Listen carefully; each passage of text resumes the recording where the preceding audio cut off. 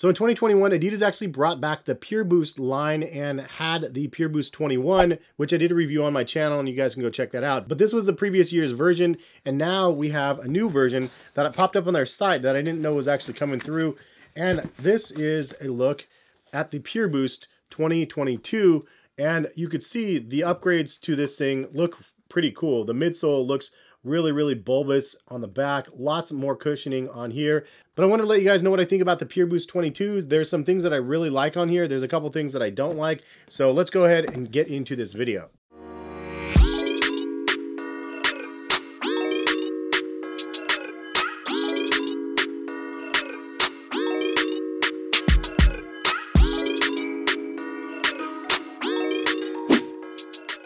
What's going on guys, Hes here. Hopefully having a good day out there. If you guys are new to my channel, please consider subscribing. If you guys want to check out my website, Collective Kicks, I post a bunch of sneaker deals for you guys over there on a regular basis. The Pure Boost 22 comes in at $140 and the fit is true to size in my opinion. Now, if you're more interested in the previous version, this one is deep discounted, like $78 or something like that right now. Very affordable option if you're looking for a nice, comfortable sneaker that doesn't have a lot of hype behind it. Anyway, the Pure Boost line has had another facelift. So the original Pure Boost Came out actually before the Ultra Boost did, and I don't know what was in that midsole, but it was so soft and squishy. It was the very first taste of Adidas Boost for me, and it was sold every since. Then you fast forward to this version, and it was pretty good. Like, it's not the same as the old ones. Something about the old ones had, like, more squish in the midsole, but honestly, it was a pretty good shoe uh, nonetheless. And now we have the latest and greatest uh, Pure Boost 22. And obviously they changed a couple things massively. The upper looks primarily the same. There's a little bit of adjustments uh, here and there from the eyelets and the heel scoop in the back actually goes up a lot higher. But the midsole is where they changed this up a ton.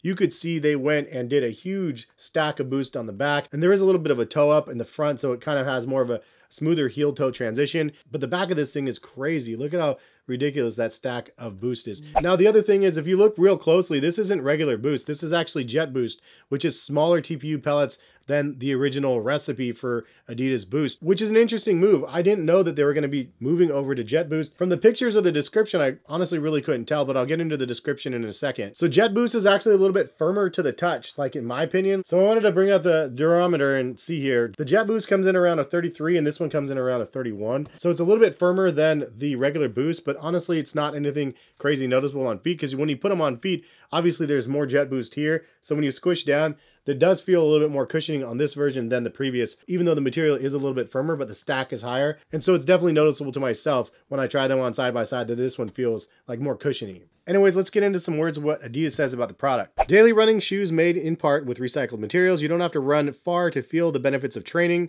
Slip on these Adidas Boost shoes and you're only a few miles away from a good mood. They're designed for short runs with a Boost midsole that offers incredible energy return in every step. The stretch web outsole flexes naturally for an energized ride and Continental rubber gives you superior traction. It says it has an extra heel counter that locks down the foot for a secure fit. Pure Boost is a training shoe designed for short distances and everyday use. Upper contains a minimum of 50% recycled content. So it actually didn't say anything about the shoes being Jet Boost. However, on the box it does say Pure Boost Jet. And then when you get them in hand, you can notice that the smaller pellets are definitely like Jet Boost. And Jet Boost has been in about three different models that I've reviewed recently on my channel. So if you want to check out some of those other videos, I'll try to link them in the description of the video. But the difference between regular Boost and Jet Boost, honestly, it just feels a little bit firmer. It's kind of like an in-between of Adidas Bounce and Adidas Boost in my opinion, like Adidas Boost is softer and squishier, but has nice little like spring back. Adidas Bounce is a lot firmer, but the Jet Boost is kind of in between. It's a little bit firmer than Boost, and it does have a nice little snapback, but to the touch, it doesn't seem as soft as Adidas Boost. But again, once you put them on, because of the stack of Jet Boost, it's definitely noticeable. But overall comfort of the shoe, I'd give it probably a seven or seven and a half out of 10. There's so many good technologies out there, and there's so many good comfortable shoes out there that this isn't on top of my list, but if you have a really firm pair of sneakers and you want something that has some nice cushioning and something you can use every day, like you put this shoe on versus like an old retro or something like that, this is obviously heaven on your feet comparison to that. However, if you put this on next to something like the Adidas Ultra Boost or something, I would definitely personally just choose an Ultra Boost over these, but that's just my two cents. The one thing I did not like about the shoe out of everything is the tongue. It's a simple fix, but they need to sew down the tongue at least halfway up because the tongue is stitched on the bottom, but it's loose all the way up the sides. So there's definitely some tongue folding that happens when you're putting on a shoe. And that's kind of like one of those nuisance things when you're putting on a shoe and the tongue folds over at the base and then the whole thing is like just a little bit off because of that. You don't notice it right away sometimes. Sometimes you do. this is one where I definitely noticed and I was like, oh man, I gotta fix the tongue. Once you fix the tongue, the lockdown is fine.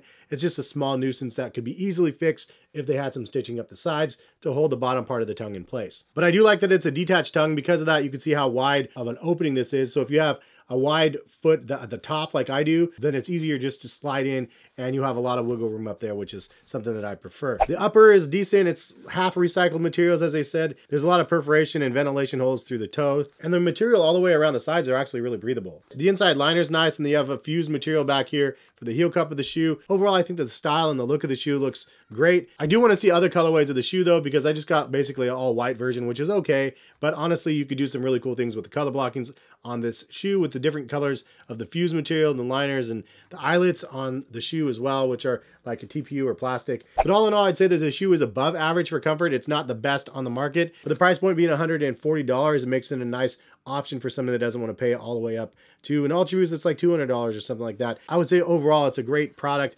Uh, for the difference in price though, honestly, for 70 bucks or something like that, I would definitely get this over the other version only because obviously it's a different midsole and a different experience on your feet, but it's an overall pretty comfortable shoe for, again, a really discounted price. So uh, if you want the latest and greatest with the different midsole or you already had the previous version, then this is a great option, obviously, for the price point. However, if you're looking for cost savings, then this is definitely a, a, nice little option. And I'll link both of them in the description. I'll take you over to Adidas page. And if you guys want to buy them and you guys use my link, I do get a small kickback, which is always appreciated uh, when you guys use my affiliate link. But thank you guys for stopping by and watching. Hope you guys enjoyed the video. Hopefully it was informative. But leave a comment. Have you tried the Pure Boost 21 or 22? What did you guys think? Leave an honest comment in the comment section. Appreciate it when you guys do that and let other people see it. But have a good one. Hopefully we'll see you back for some more sneaker videos soon. All right. Peace, guys.